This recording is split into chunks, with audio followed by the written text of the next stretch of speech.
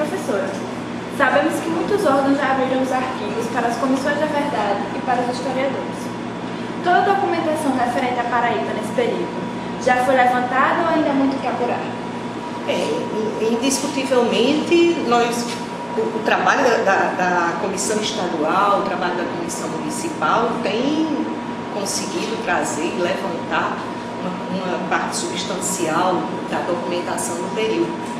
Mas estamos muito, eu, eu coloco que estamos extremamente longe de podermos afirmar que toda a documentação referente à Paraíba esteja levantada. Né? Um, um exemplo simples.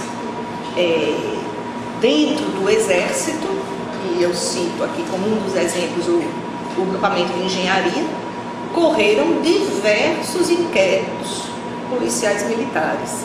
E inúmeros presos foram presos no grupamento de engenharia.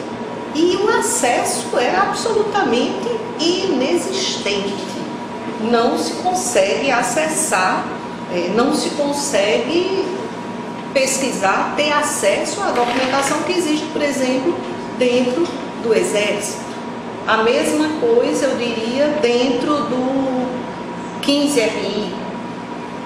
É, você não consegue, já tentamos, inclusive, já foi tentado até por outros, outros alunos, que, que foram ao 15 pesquisar outros assuntos que não necessariamente o regime militar, é, a negativa é completa. Você realmente não, não consegue chegar lá dentro para esse tipo de coisa, mesmo com a lei da transparência, mesmo se apelando para a lei da transparência, a possibilidade de acesso é completamente vetada. Então, o, o, se esta documentação não tiver sido destruída, que eu acredito que dentro das Forças Armadas essa documentação não foi destruída, deve existir um, um manancial extremamente rico de informações e que eu acho que dificilmente teremos acesso. Né?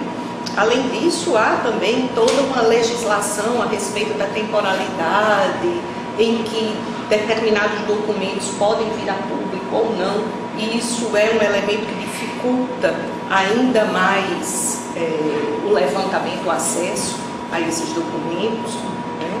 Então, é, acho que fez-se muito. Eu até coloco, por exemplo, quando eu fiz minha dissertação de mestrado, que foi sobre o golpe aqui, é, tive acesso a alguma coisa que hoje em dia, por exemplo, vendo a produção da comissão estadual, mesmo a produção da comissão municipal, digo, puxa vida, naquele, naquele momento não tinha, a gente não tinha acesso a essa documentação que está sendo trazida agora né, a público. Então eu acho que ainda há muita coisa, um tema não se esgota, sobretudo um tema com essa complexidade, com todos os é, as implicações que o regime militar teve continua tendo. É, eu acho que isso daí não se esgota, ainda teremos oportunidade de vermos diversos documentos, espero que com novas pesquisas realmente venham à luz.